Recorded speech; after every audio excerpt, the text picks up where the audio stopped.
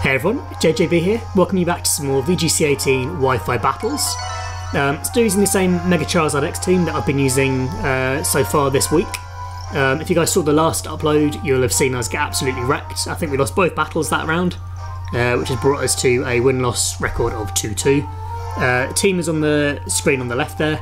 Um, team full team breakdown is also in the description of the video, so have a scroll down, have a read of that, and you'll know what we've got. Um, but yeah, we see our opponent is coming at us with a Zapdos, Incineroar, Mawile, Nihilego, uh, Milotic, and Weavile. So we're seeing two Intimidators right away. We're seeing the Nihilego, which is probably going to want to go for Trick Rooms to support the Incineroar and the Mawile. Um, so I like Milotic. Milotic's good as the lead here. Uh, two Intimidators means there's a, you know, third chance of him leading with one um, or one in three chance from leading with one. So I think we'll go with that and go with possibly Tita. What does Tita get wrecked by? Half of his team? Yeah, let's go Tita. if I get another double loss here, I'm going to be so annoyed. Um, we sort of want Amoonguss for the Trick Room feel like we need to bring that. And I'm going to bring Charizard as well. Uh, what's our option for the opposing Milotic? Not, not a lot. Uh, I'm feeling like the team could really do with the Tapu Koko. Uh, Fairy help, would help with the Kommo-o matchup, which we faced twice in the uh, last battle and or the last upload. Yeah, if you guys didn't see that, make sure to go and check that out. Uh, although, you know, spoilers, I do lose both games, so um, maybe don't go and watch it. It will save me some embarrassment. We see two yellow shinies to kick off.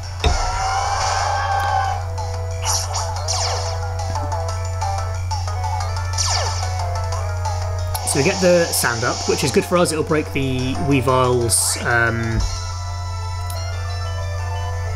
you know, focus sash. We do set the sand up for the Nihilego though, so that's going to have increased bulk, which is going to be annoying to deal with. Um, so I think what we'll do is go for a Scald on the Weavile, and I think I'm just going to go for a Rock Slide here. Uh, I think we're going to see a Fake Out and a Trick Room. The Nihilego actually withdraws into the Zapdos, okay. Uh, this is good for us. Another yellow shiny. What's this guy's team? Is everything is everything yellow? Okay, no fake out. We see just a huge knockoff. Uh, fortunately, this does mean that the Weavile should die this turn as long as we connect with both Rock Slides, which we do. Uh, has so much damage to the Zapdos as well. So it's a fully offensive Zapdos. Raise its attack. Special attack, weakness policy. Alright, I was seeing a berry there for some reason. Okay, so the Zapdos is going to maybe have to be forced to go for a roost on this turn if it wants to hang around. Uh, if it's got weakness policy, I assume it's going to be fairly bulky. Not not bulky, uh, fairly aggressive. Uh, and if he has Roost, that would make sense because it would help him, uh, you know, keep the, the one with the weakness policy boost around. Goes back out into the Nihilego. Um, I think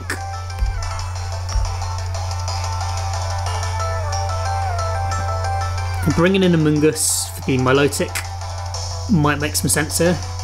Uh, nothing that either of these other guys are, going to do will get the KO on that. Uh, and let's just keep the Milotic around for the future. Uh, do we need to though? Uh, maybe, might come in useful, let's do that. And Rock Slide.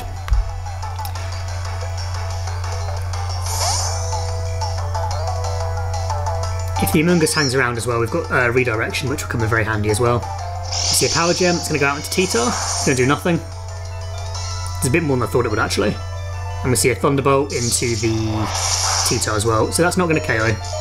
Does get paralysis there, uh, we get paralysed here, that's going to really suck. We don't, and we connect both Rock Slides. Uh, so that does KO the Zapdos, it nearly KOs the Nihilego. Uh, puts us into a bit of a dodgy spot now in that the Tita we can't really rely on now to get damage off. Uh, you know, we could redirect with the Mungus, but then if the T-Tar gets paralysed, uh, you know, that, that's no good for us. Uh, and we see another Milotic from our opponents. So I think what I'm going to do is just Spore the Milotic. And I think we kind of got to let T-Tar go down here. Uh, the Milotic's going to be big problems for the rest of my team. Uh, so yeah, I think we'll go with that. I think we'll go with Spore on the Milotic. Nihilego's got Psychic, I didn't know I got that. Oh, Mungus beats it. And it's Life Orb Nihilego, which I didn't realise it had before. It did reveal that, didn't it? Yeah, it went for Power Gem and stuff. I should have, I should have noticed that. Doesn't really matter. Uh, we do get the Spore off now on the Milotic. Uh, so this is good. So basically the plan now is to bring in uh, my Milotic and go for a Recover. Uh, I think we go for a Rage Powder and Recover. Uh, Nihilego will die to its next attack, uh, which is going to have to target down the Amoonguss. So if we go Rage Powder here, what it means is that the Nihilego has to attack Amoonguss, which means we can heal up on Milotic. Um, then we can bring in Charizard and start setting up on the sleeping Milotic, and if Milotic wakes up, we can go for Toxic, and then stall out with Roost on Charizard and recover on Milotic. Okay, we have a plan. If the Milotic wakes up here, that's bad for us, but it did attack on the last turn and went to sleep, so it's not had any sleep turns yet. So I think we've got a winning plan. So Sludge Bomb has to target Amoonguss. Uh, just get the KO, uh, and the Nihilego will now die to its Life Orb. Please? Okay, good. the Beast Boost went off then, and I thought, have I, I just made up the Life Orb? Again, we get a nice recover off now. Uh, so in this 2v1, I think we can come out on top. Uh, we can boost up with Charizard on this next turn because we should outspeed the Sleeping Milotic. And we can go for a Scald. And then on the following turns, we just basically need to just recover stall, get Toxic off. Um, so that's the plan. If we Mega into a Dragon type as well, the Milotic can't do any uh, super effective damage anymore. Uh, Scald will be neutral, Ice type moves will be neutral. This is a case where, um, you know, being being Charizard Y would be great because we could just Solar Beam it. Uh, but also, just having Flare Blitz as our only attacking move isn't the best here because, you know, the Water type completely walls. Um, it stays asleep as well, so we're going to get a chance to go for another boost on the next turn, or we could just straight up go for an attack.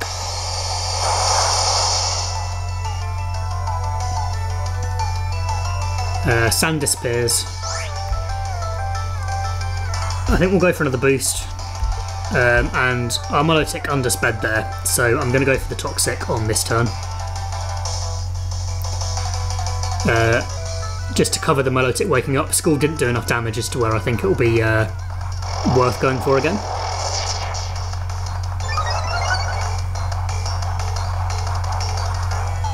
Okay, so it stays asleep, so basically at this point now we can just uh, start Flare Blitzing with Charizard. Uh, we got very lucky on the number of sleep turns, but I think we had a winning plan anyway. Uh, of course, it's not over yet. He could uh, could wake up and survive somehow. So I think we're just going to go for the Toxic to cover that uh, possibility. So Flare Blitz goes off. Isn't enough to pick up the KO. Nice. So, like I said, we got lucky with the number of sleep turns, but I think I had a plan that was going to uh, eventually work. We could roost and recover stall with the Milotic once we got the Toxic off. Um, or just keep boosting with Dragon Dance, then smack it with a Flare Blitz, because we saw there it just KO'd. So, um, yeah, feeling good about that. Uh, compared to the last upload, that was a very well thought out and commanding win. Uh, dealt with some of his big threats quite nicely. Uh, process on T-Tar was unfortunate, but didn't really matter in the end. Um, so yeah, let's do one more battle. Uh, we're only like 10 minutes, so we might get a couple more in. Who knows? Um, I hope you guys have been enjoying the singles tournament uh, that I've been doing on Pokemon Showdown. That's the limited base stats tournament. If you guys haven't caught up with any of that, make sure to go and check that out. Uh, I think by the time this video goes live, I think there'll be a team builder and three battles uh, that will have gone up for you guys to watch. Um, it's a really interesting tournament. Um, basically, you can use any mon as long as every single one of its base stats is below 100. So it's led to some really innovative mons and innovative sets being used. So it's kind of cool. Uh, it's quite good fun. Uh, I won't spoil how we've been getting on. Um, I think we're coming to the end of the Swiss rounds, so yeah, check it out and see if we make the playoffs or not. Uh, playoffs should be starting sometime next week, I think. Or maybe even this weekend. Uh, yeah, should be this weekend.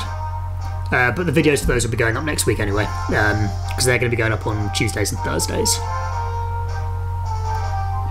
Uh, so sweet, so uh, our win-loss ratio is up to 3-2 now, which is handy. Um, I mean, it's better than 2-2. Um, so yeah, and it's taken quite a long time to find an opposing trainer. It seems to take a fair bit of time nowadays to, to find one, I guess because we're coming to the end of VGC 18. Uh, yeah, the opposing trainer could not be found. Uh, let's try again. Uh, I think at the time of recording this, uh, which is at the beginning of this week, this is going to go up on Friday, I'm recording this on Monday. Um, I think Worlds is starting very soon. I think it's next week or the week after next. I can't remember.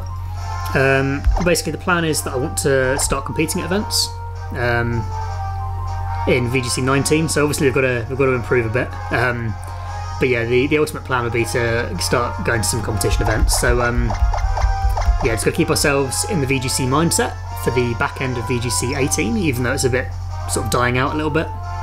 Um, and yeah, be, be fresh and ready for VGC 19. So yeah, hopefully we can find an opponent fairly quickly. Um, I would say that I'll just cut when we do, but I realised when I uploaded uh, Monday's upload that I also said that and then didn't bother. So there's just like five or you know five to ten seconds of me just sort of sat here, just not talking. Um, which is no good, and I will probably forget if I say I'm going to do it now. Unless this goes on for like, okay, good. Alright, I was going to say, unless it goes on for like another five minutes, but now we do get ourselves an opponent. Uh, rocking out with Ludicolo, Pelipper, Pelipper, I don't know why I said like that, Pelipper, uh, what is presumably a Mega Sceptile, a Koko, Scrafty, and Landorus. So, uh, Milotic's nice, two Intimidators, but he has got the Koko and the Sceptile, which kind of puts me off a little bit. Yeah, it does put me off.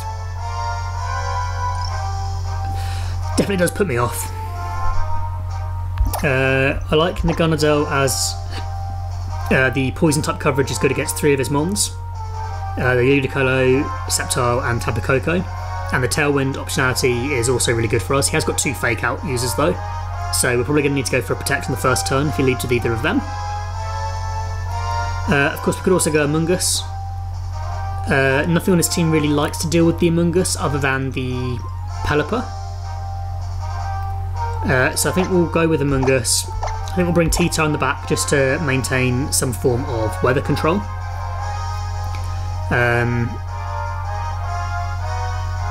Sceptile is going to be very tricky to deal with. It's going to be a problem for us. I think I'm going to have to go with the Landorus. Yeah, running out of time, I'm going to go that. Uh, Milotic would have been quite nice, uh, but the Sceptile, Ludicolo, and the Koko kind of put me off. Uh, he's got the double intimidate, so you know it's competitive. Might get set off, but I don't think it's worth the risk of uh, all those and he just leads straight up with the Koko Sceptile.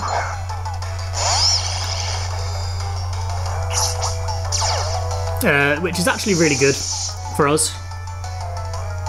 Um, we can go for redirection with the Amoonguss and a Tailwind on this turn. Uh, basically, that'll guarantee that Naganadel outspeeds uh, all of these guys, and I'm a bit worried about one of them protecting and me calling it wrong. So Sceptile Megas, which is fine.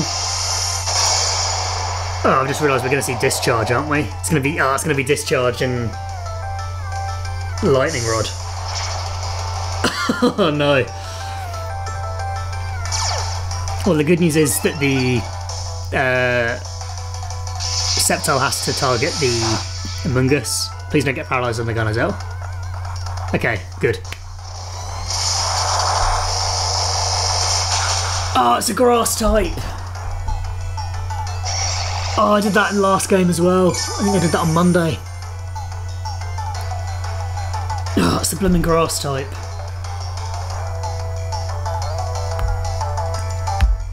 Oh, damn it. I did. Oh, that is incredibly frustrating. So frustrating.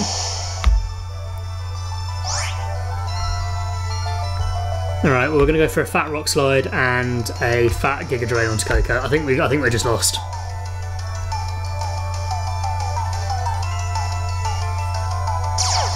Discharge is going to boost the Sceptile. Uh, it's going to do no damage to either of our guys. Gets paralysis. Sceptile's going to go for like Leaf Storm. For the Dragon Pulse. Into the Amoonguss. Okay. Rock Slide isn't going to KO though. Surely not. Nah, of course it doesn't. Gets a crit on the Koko. Uh, doesn't matter. Uh, so now we're just go into, out into Lando. Uh, I'm playing on tilt because uh, forgetting that we needed to protect. But even if we protected, Amoonguss couldn't have done anything. I'm talking about protecting first turn with the Naganadel. If we'd have done that, what would have happened? Uh, nothing. Because Amoonguss couldn't do anything to the Sceptile. Uh, we just have to go Rock Slide and Rock Slide, I think.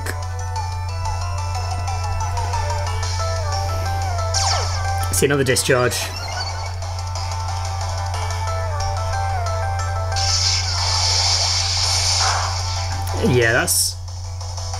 And then Energy Ball into the Lando.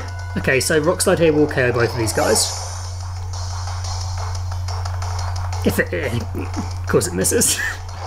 okay. Sceptile goes down. Oh, that's so... That first turn, man, that is abysmal. Uh, what would have been the play, though? I don't think I had any answer to that. And in comes Pelipper, so we're going to see a uh, Brine or Scald or something, and we've not got any way of getting around this now. Uh, I'm just going to Dragon Dance on the... Uh, no, Wall Rock Slide. We can't win. He has to withdraw the Koko, so it's, it's locked into the Discharge. Uh, and we just see a Scald. That, that will KO. Oh, that's so annoying. So annoying. The Rage Powder plan was the right plan. Um, you know, if uh, it worked on blooming grass types, which it doesn't, and I did know that. Uh, I think on Monday's episode I try and Rage Powder a Kartana as well. Um, that's really frustrating. That that's so frustrating. Um, Alright, well, I'm going to call it there for today. Uh, that's a really bad showing. The first game we played really well. I feel like that went really well. We are in a commanding position, had game plans for like all the turns, knew what was going on. Uh, then that second game just got absolutely wrecked by Mega Sceptile. Um, so yeah, the things I forgot was the Lightning Rod. Uh, if we'd have thought about that, then possibly leading with well, anything other than Amoonguss, I think would have been fine. If we'd have led Landorus, Charizard, uh, Tyranitar, they'd have all been fine because they'd have all survived a discharge, and all could have, you know, a Crunch from T-Tar would probably KO the Sceptile. Uh, Flare Blitz from Charizard would KO the Sceptile. Um, Flying Z would have carried the Sceptile. So leading Amoonguss there was what cost us that game. Um, offered no offensive pressure against that, that lead, and Rage Powder didn't work like I, I thought it would. Um, so yeah, that's my fault. That's really bad from me there. Just uh, a forgetting that Mega Sceptile had Lightning Rod and knowing that the discharge Lightning Rod core is, you know, what you're going to see if you see a Mega Sceptile, and forgetting that the uh, mechanics of Rage Powder as well. So really sucks. Uh, so apologies for the second game. I feel like the first game was good though. So uh, yeah, we're gonna we're gonna we're gonna just plod on with this. Um, but yeah, make sure to leave a like and subscribe if you enjoyed. Uh, and please leave a comment. You know, let me know uh, what you think I could have done differently. Uh, I feel like I've got a pretty good idea, but yeah, maybe just leave a comment and tell me. You know, just say, hey Josh, remember that Rage Powder doesn't work on grass types. Um, but yeah, that's that's going to be it for today, guys. Thank you guys so much for watching, and I'll see you guys next time.